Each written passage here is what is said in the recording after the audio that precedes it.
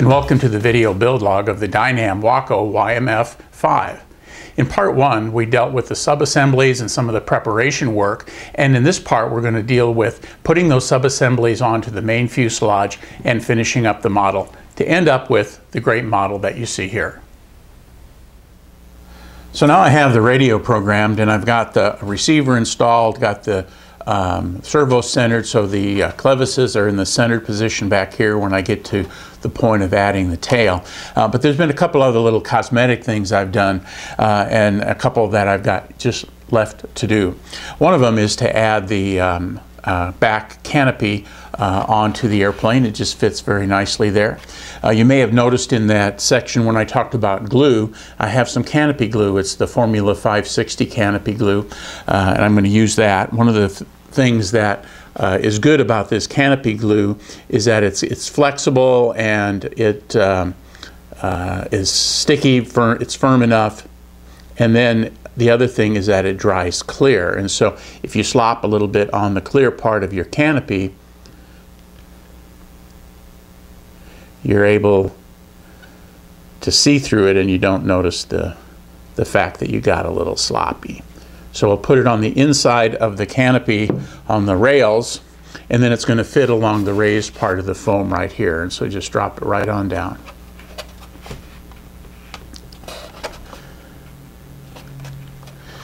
And I'm just going to sit here and hold it for a couple of minutes. Again, I'm not going to hold it with tape because it's paint around here and I don't want to pull the paint. Now, with the windscreen glued on, I'm going to zoom in on the hatch cover and show you a couple of other little pointers uh, in terms of uh, making this a little bit more functional. One of the things that's not unusual to hear about with models that have the battery hatch on top is that the magnets that hold uh, the hatch on aren't strong enough. I've certainly read those comments about this model in the threads on RC groups. However, a lot of times that's really not the case. It's not that the magnets aren't strong, it's just that the, the magnet pieces and the piece of metal that the magnet connects to here are uh, too far apart. They're not close enough. So when you put the hatch on, you really don't hear them click together. And a couple of millimeters is all it takes for that magnet to lose a lot of its ability to uh, hold the piece together. The magnetism dis dissipates rather rapidly.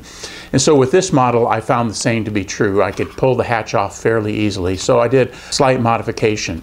Now these little metal pieces are really just a kind of U-shaped pieces, a big flat piece with a couple of forks, one on each end to push them into the foam. And there's a little uh, recess there molded for the foam um, to accept this piece of metal. And these pieces were down below the surface here and so it made a space, which I thought is probably going to be uh, part of the problem of this not sticking well. So I used a common screwdriver, pried these out. They came out very easily, didn't damage the foam or anything. And then I used some of that polyurethane glue. Remember, that's the foam that foams, uh, the glue that foams a little bit.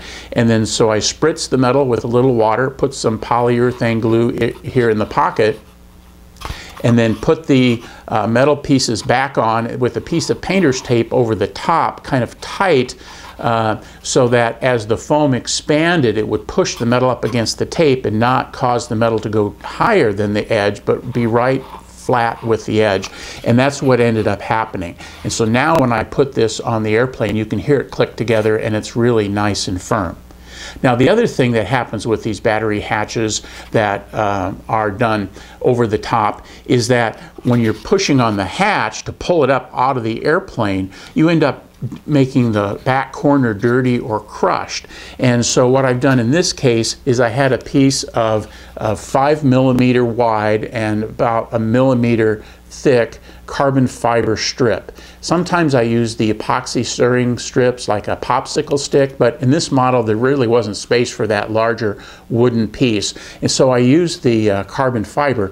I cut it about two or three millimeters wider than this space, and then I just used my hobby knife, and you can see this black line. I carved a, uh, uh, just cut a slit across there, pushed the carbon fiber rod in to spread the foam out, pulled it out, put a couple of drops of CA along there to hold it firm, and then painted the tips of the um, carbon fiber yellow to match the side of the um, airplane and then push that in there. And so now what I'm able to do is when this is on, I can reach my hand over the top and I feel just those little tiny uh, tips of that carbon fiber and I can lift on those and pull it out without crushing the foam. Let me bring the rest of the fuselage in here and I'll show you what I mean. So you can see I have the fuselage here. You've got the magnets on the corners on the inside mounted in little uh, plastic receptacles in there. And so now when I take the canopy or the hatch cover here, I can just drop it in place and you can hear it kind of pop. The magnets are really nice and strong because I've got them closer to the magnet itself. And I think you'd have to really look hard to see the little uh, tips of that carbon fiber. But what this allows me to do, instead of pushing on this or pulling on it to get the magnets to release, I just take my fingertips, find the, tip, the tips of that carbon fiber, and just lift it right off. It's really slick, and it saves wear and tear on the corners of your hatch with those dirty fingerprints or crushing the foam. So adding the empennage should be a fairly simple process. There are a couple of uh, cups here for the foam pieces on the tail uh, to fit in. And then the other thing you'll notice is that there's a, um, a tab here that's going to go into a slot on the back of the fuselage. Now when I dry fit this, this wouldn't fit very well, so I sanded away some of the paint so you can see it's a little white right here uh, so that it still fits very snug, but uh, it isn't deforming the foam. And so it's just going to be a matter of dropping it in there, guiding that little tab into the slot, and then just carefully pushing it together.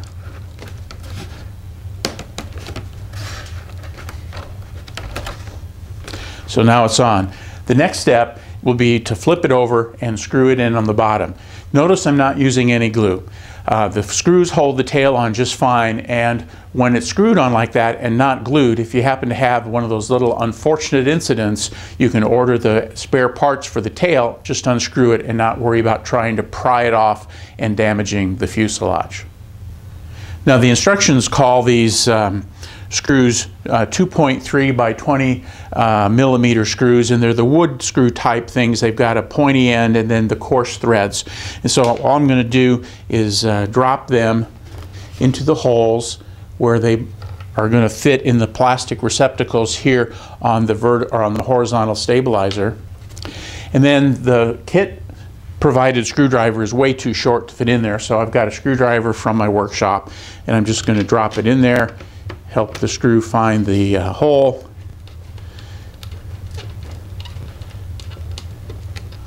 There we go, tighten that baby up. Again, wiggle the screw around, feel the screwdriver bite the, uh, the Phillips head on the, there we go, the top of this, or in the top of the screw, and then screw it in there. So the next step here is to attach the uh, clevises to the control horns. Now you remember that we centered the servos with the radio a, a, couple of seconds ago and, and so that was so we could get a good adjustment physically on the screw-on clevis heads that are on threaded rods or at least partially threaded. Now to do that I use just a little needle nose pliers and then I hold the rod tight and then twist the clevis either in or out as required. Um, I like to use the needle nose pliers so that as I twist, sometimes it gets pretty hard and I don't want to transfer that twisting motion onto the servo in the, uh, uh, the front part of the fuselage. And so I've done that with each of the, the clevises. And so what I like to do then is, is I watch it with the flight controls level and then I get the clevis to the point where um, that pin is going to go through the middle hole when the flight controls are um, parallel to the, the primary flight control, in this case the horizontal stabilizer. Then I just use a common screwdriver with a fairly wide tip to separate the pin and then drop the pin in the hole and see what my alignment is. And if I'm not happy with my alignment, then I can just take it off and screw the, uh, the clevis down or out a little bit to make it uh, the alignment that I want. Now the other thing that you notice is that I don't have a clevis down here. And uh, in this case, I noticed that when I unpacked it that the clevis rod or the control rod was bent a little bit and when I started to turn it it broke. Now, um, you know, I like to think of myself as a modeler, not as an assembler. So I simply went into the uh, workshop, got a piece of music wire, the appropriate length, measured it, clipped it off, and put a Z-bend on this. And so in this case, all I'm going to do is uh, bend that Z-bend into the hole. And so now I've got it connected. Now on the fuselage side, let me slide this down. There was already a quick connector down here and uh, for the tail wheel and so I again went to the workshop got a little micro size quick connector that would uh, had a hole that was large enough for the music wire mounted it where the Z-bend in the um, um, servo arm used to be with the broken rod and just popped it in there and tightened it down. So I've got the pins through the control horns from each of the clevises. And then as you can see across the back here, since these are both separately adjustable, um, I've got an ice side on them to make them the same. If you've got your um, elevators a little bit off, that may be a reason for kind of a, a, roll to the left or the roll to the right that you're messing around with your ailerons uh, when you really uh, have a um, an elevator that's misaligned. So you want to give it a good uh, eyeball to make sure that you've got these two control surfaces uh, matched up. Now the other thing I tend not to do with the plastic clevises is I don't snap them at this point. I just leave them open, the pins through the control horns, because when I get to the final stage of uh, programming my radio and adding the sub trims and that kind of thing, uh, I like to be able to make those adjustments. And if I find that I need to um, do a physical adjustment on the, on the clevis, I'm able to do that without pulling it apart. Again, they're just little plastic pieces, and so I don't like to put a lot of stress on the little plastic uh, nub that snaps into the other side of the clevis. And then since we're back here talking about the clevises, when I do finally uh, snap these and I've got them all down, what I like to use is a little uh, small cable tie or zip tie that I'll wrap around the clevis, make the loop and pull it tight to hold those two pieces of the clevis together. Uh, you don't want them coming apart. You know, an aileron might not make a big difference. You can fly with one aileron, uh, although not well, but uh, having the uh, clevis fall off the control horn to the elevator would kind of ruin your day. And so uh, you want to secure these. Another good technique for securing these would be uh, to slide a piece of fuel tubing over this. A lot of guys do that. You just make a sleeve and slide it up over there to hold it tight. And I suppose you could actually use a piece of heat shrink to do uh, the same thing, although you'd want to be careful with not bubbling the foam if you applied some heat uh, to the heat shrink while it's down here over the top of the clevis. So something to keep in mind when you get your final adjustments done so that these things remain secure. Now the last thing that I want to talk about in terms of uh, some modifications you might want to make to the model has to do with airflow through the fuselage to keep the electronics cool. Now this is a solid plate here where these faux cylinders are and there's a channel where the ESC lies underneath the cowl and so what I did is uh, on the bottom couple of areas between the cylinders I used my hobby knife and cut that out. Now, in fact, probably only the middle one really has much clearance into that channel. But by doing so, you open up um, you know, a square half an inch or so of airspace to go through uh, into the fuselage to keep the battery and the ESC cool. And so that might be worth uh, your consideration. The model has on the bottom a nice large air escape hole down at this side, but it really doesn't have much in terms of input. And so uh, by cutting away a couple of the spaces between the cylinder, you can add some airflow and uh, help keep your electronics cool. Now we've got the wing ready to assemble onto the main part of the fuselage and just a couple things I wanted to point out to you. One you can see here I've got the, the wires from the LEDs all bundled together. I don't plan to use them so I've got them tied down so that they stay out of the way. The other thing is that because I'm using a six channel receiver, I used servo extensions on each of the servos uh, to go to the aileron and to the aux channels so that I can dial in some uh, differential ailerons. If you're using a four channel receiver or you just don't want to mess with six channels, you'd plug in the Y uh, cord into the aileron channel of your receiver and connect them. And then because I don't plan on taking the airplane apart very often, I've used some electrical tape to tape the servo uh, connectors together so they don't come apart. So now it's just a matter of sliding the wing in and pushing it down. We've got three screws that we'll be using, a big screw in the back and two of the smaller um, 2.5 or 2.3 by 20 millimeter uh, screws that fit into plastic receivers here in the front. So let's put them on now. Here's the screw, just going to drop it in there. Feels like it landed on the receiver. It did, I can feel it grab.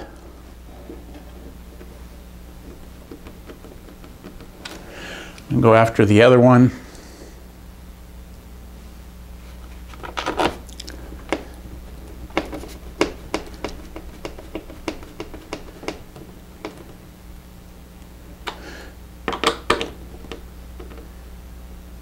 Again, these are plastic receivers in there, and so you want to get the screws tight, but not so tight that you strip them out. So I've got a good grip there. And then I've got the large bolt for the back.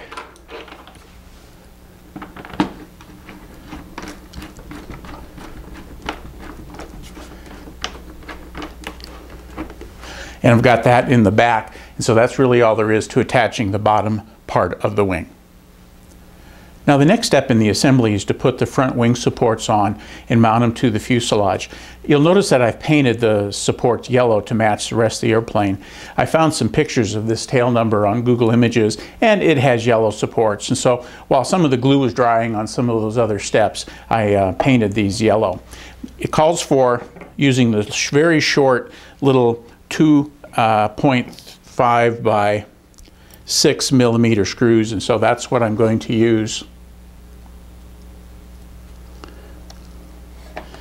Again, going into the, the plastic receivers, you can feel that grab.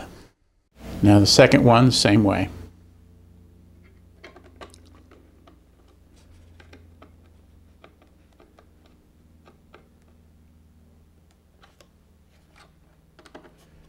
Got those in there nice and firm, but not too tight.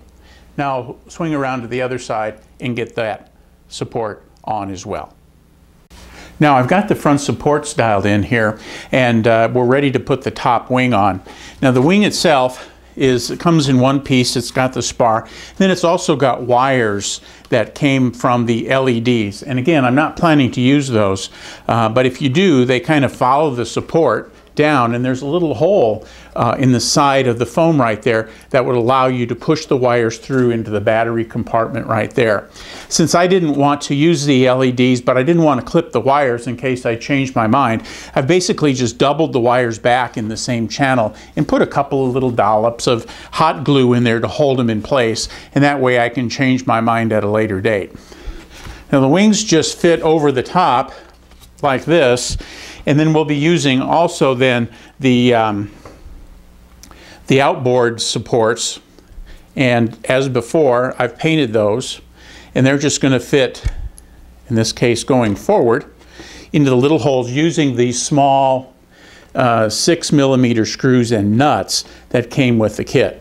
Now there's not a lot to see besides me just screwing these little nuts in. Um, so I'm going to uh, uh, go and do that and I'll show you the result when I'm done. Well, it's starting to look like an airplane now. We've got the bottom wing on, we've got the wing supports mounted, and we've got the upper wing attached as well. A couple things I noticed is that you need to size the outboard wing supports because they're not exactly the same and so they do fit a particular way so make sure you get them sized before uh, you start putting in the screws. The other thing is that the, uh, the screws went in pretty easily. There is not a lot of extra length on that screw, but uh, they went on easier than I had anticipated after reading some of the complaints about the shortness of those screws. Uh, when I got those done, I put a little drop of thread locker on the outside of each one. Hopefully it'll uh, seep into the threads and lock those in tight uh, so they don't uh, come apart. Now the upper and lower aileron are connected by these push rods that have a Z-bend on one side and a clevis on the other. Uh, before installing them, I matched them up to make sure that they were both exactly the same size. Uh, and I had to twist the one clevis around maybe half a turn to get them to be equal to one another because we don't want the ailerons to have uh, a differential. When you start making the corrections to one, you want the others to match. So we've got the Z-bend on this side. We're just going to push it into the hole, give it a little support or a little push to get it through the hole there and bring it on around. And then as we did before, I have this common screwdriver here. I'm just going to separate the clevis hole and mount it in the hole like that. And this one I am going to just snap together. Just like that. Now, as I think I've mentioned before, uh, the Dynam decals are really pretty good. They're usually bright and colorful uh, and they stick really well to the models. The way I put those decals on to keep them from uh, rolling up on themselves is I, I cut the, the decal down really close to the decal itself and then I pull away the extra vinyl that's around the edge so that the only thing that's left is um, the decal itself on the backer paper. And then I peel back the decal. And then with my scissors cut off about oh a quarter or half an inch of the backer board of the backer paper there. And then what I'm able to do is I can position the decal exactly the way I want it without it without me worrying about it sticking before I want it to stick. And so I want this little flying wing here on the tail just about right there. And then I'll push down the sticky part of the decal where I cut away the paper and then just fold the paper back and then run it forward. Just like that. Now we're just about to the end of our assembly of this uh, uh, Dynam Waco. And uh, so the last part we'll be putting on the uh, propeller. And so it comes with a friction style uh, collet here. It just goes on the end of the shaft coming from the motor it comes with two 12 by 6 uh, propellers and um, the, the, the, word Dynam and the size of the propeller right here goes out facing forward so you have the propeller on straight. A little plastic washer goes on right there and then it finishes up with this really nice prop nut, uh, big heavy looking thing that uh, will allow you to uh, cinch everything down and um, bind it to the, uh, the shaft on the motor. We'll get it turned down there. And then just use a thin screwdriver, put it through the hole, and then just cinch it down so it's nice and tight. And now for a couple of closing comments about the Dynam Waco. The Waco was a fun airplane to build. It went together well. The parts fit together well. The fit and finish, paint, and all of that uh, was just very nice, very typical of Dynam models. There were a couple of things that I was not happy with, uh, and I may have mentioned them during the course of the build. One, of course, was when the push rod to the rudder broke. Uh, it had been bent during uh, the shipping or manufacturing or packing process, and when I straightened it out, it broke. So keep in mind, uh, those push rods don't have a lot of tolerance for bending. Uh, they're going to snap. Now, unfortunately, the same thing happened on one of the um, push rods for the ailerons. As I pushed the Z-bend through the top aileron here, it also snapped off, which was a little bit frustrating. But since I had the push rod from the rudder now, with, since I replaced it with a piece of music wire, I was able to use the Z-bend on that, measure it to length, and then put the clevis on the end of that used a little CA and a little epoxy around the edge to hold it firm. And so it wasn't a catastrophe, although it would have been a bit of more of a mess uh, had that not had not that rudder um, uh, push rod broke as well. Now, the inside the airplane, there's a lot of room for your electronics. And I'm not going to spend a lot of time on the electronics this time simply because your radio and what you choose to put in it may change. Uh, I choose to put a six channel orange receiver in it, which gives me the ability to use aileron differential uh, on the ailerons, changing the, the amount it goes up and down. Uh, I also put an external BEC in there, uh, so I have uh, power to the receiver should something happen to the electronic speed control. There's nothing more frustrating than seeing the magic smoke coming from your airplane and knowing that you're just going to watch it crash. So um, I've done that as well. And I, I, like to do that on some of these larger models, especially if I'm using relatively inexpensive uh, electronic speed controls. So all in all, nice model, looks good. I'm anxious to get it out to the field, a little bit more radio programming, and I'll be good to go. Hope you've enjoyed this and that it's been helpful as you enjoy your walkout.